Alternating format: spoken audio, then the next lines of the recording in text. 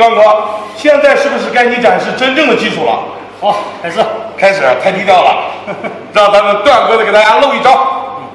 大家好啊，呃，今天给大家做一道这个鲁菜经典的葱烧海参，这是上发好的海参，这么大的海参，这是大连的，嗯，大连参，肉特厚，看着。对，这要处理一下是吗？对，哦，现在要把它切成小段儿。对，你看咱这个段哥切段儿也很有寓意啊。这就切好了啊。对，就那个切好的海参，就是这个咱们那个山东那个章丘大葱，这是张盘必须是山东的大葱。对，它这个葱没没有那个不辣，这这个葱、生姜、香菜、蒜子，就是等一会儿这个炸那个葱烧海参那个葱油，对。对，这个葱油炸出来比别的那个葱烧海参那个为什么它好吃呢？为什么它它这个里边有放那个香菜？哦这个秘诀就在这里边。这个东西全给你透露出去了。对那咱开始操作了。行，下这个色拉油，咱们这第一步就是要烧这个葱油。呃，炼葱油。哦，就色拉油和猪油搭配到一起。对，这个葱烧还是必须要用大油。哦，原来是这样的。嗯，这油温它就不敢太高，就得把葱放进去，是吗？对，油温不敢高。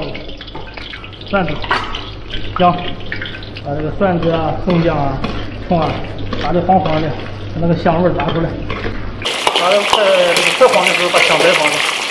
段哥，嗯，你像这个葱姜蒜啊，这个香菜我家可多了，嗯猪油也也练了一大盆儿。现在就是万事俱备，只欠东风了，缺的就是咱这大连参了。来来来，那个在后边等一会儿啊。完了安排，对，晚上安排。这个葱油就炸好了，油炸成这种金黄色就行了。打焦。香味儿现在全在这个油里。对，炸的这个油的这个料不敢扔，等一会儿咱们拿拿这个加点水，还有这个喂喂海参。明白了。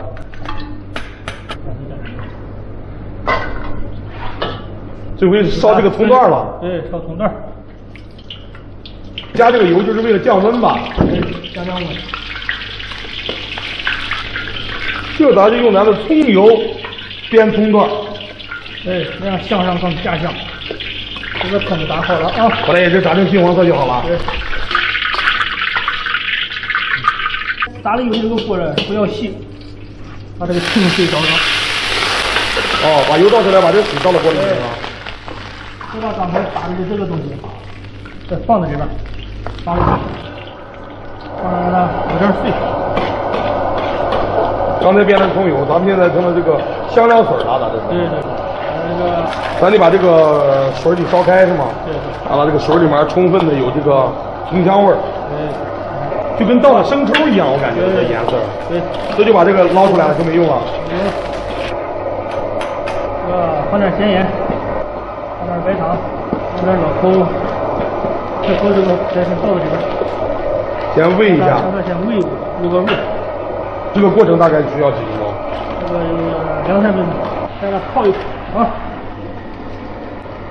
那个咱现在烧点水啊，这个水把这个放点咸盐，放点白糖，再放一点油，小糖片儿，在这儿给焯一焯，焯焯水。这个刚才这个炼好这个葱油啊，这个煨海参这个汤，哎呦，把我的葱段也放到里面，最后是咱的主角海参，这也下锅了。嗯，这是冬菇酱油，冬菇，再放点白糖、咸盐，我见你放的这些调料都是一点点的。对，一点，因为它这个海参已经入味儿了，这个放点老抽，也是再上点色儿。对，加葱油，这么最后再把这个葱油，看的特别的亮，是吗？对，这个葱油加三次，葱油要这么慢慢的要加三次，对，加三次，再加一次油，这是第二次加了，对，再次淋入一点明油，再来上一点点水淀粉，对，好，这个这个啊。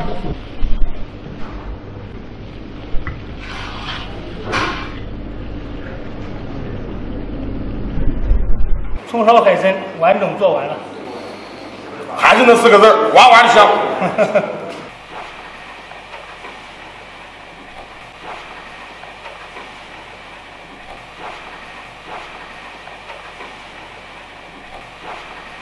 哎，三道菜做好了，你尝一尝。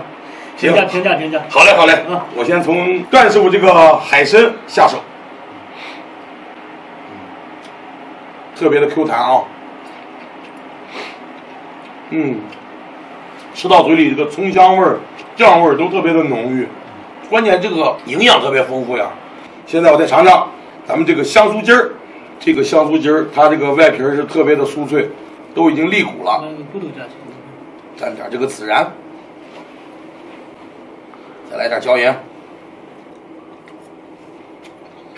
嗯，外皮是特别的酥脆，这个鸡肉是特别的嫩。最后，咱们来尝一下这个松鼠桂鱼，黑哥都不忍心下筷子啊！这么好的造型，我从尾巴开吃吧。反正这个桂鱼肉上里面它也没有刺儿，夹了满满的一大筷子。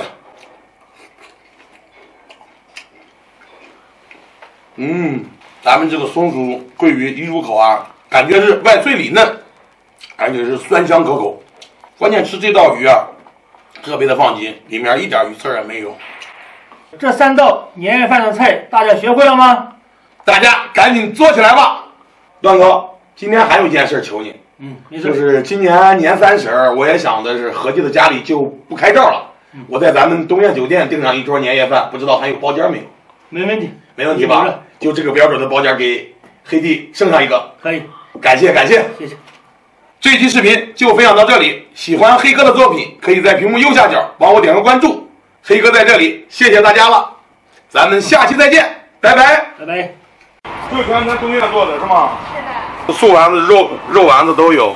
啊，我们每次在东苑吃饭都要点这个神仙鸡儿，回到家里以后，汤和鸡，一炖进去。哎，一块一炖就是饭店的味道。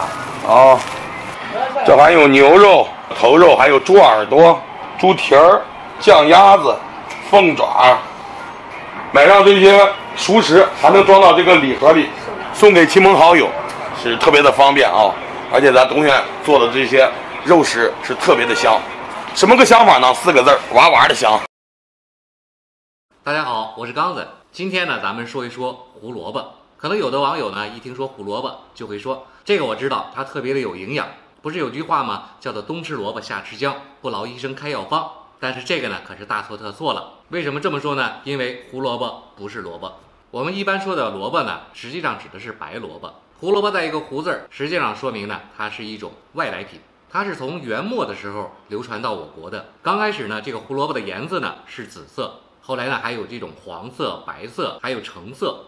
这个呢也是根据土壤呀、环境啊以及各个培育的手段方法产生的不同的颜色。现在市面上呢，大部分的这种胡萝卜呀是黄色和橘色的。这个橘色的胡萝卜呀是荷兰给培育出来的，因为荷兰呢它的国家的颜色呢就是橘色，所以呢它慢慢把这个胡萝卜呀培养成这样的一种颜色。但是呢，它们所含的维生素以及胡萝卜素呢基本上是相同的，只是在口感和味道上呢略微有一些差别。那么我们在市场上如何去挑选胡萝卜呢？那第一，体型大小呢选中件儿，太大的呢有可能是过于成熟，太小的呢可能还没有长成，所以呢一般取中件儿的就可以了。第二个呢是看分量，同等大小的胡萝卜呢，重量越重的，说明它的水分含量是越多的。如果比较轻呢，就说明它的水分呢已经流失，吃起来呢会比较的柴，比较的硬。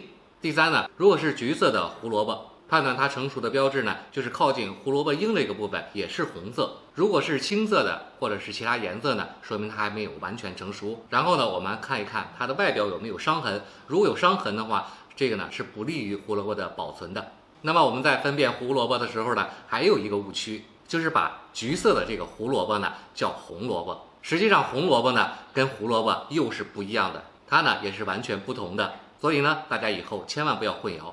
好了，今天关于胡萝卜的视频就分享到这里，希望刚子的视频对大家有所帮助。咱们下期节目再见。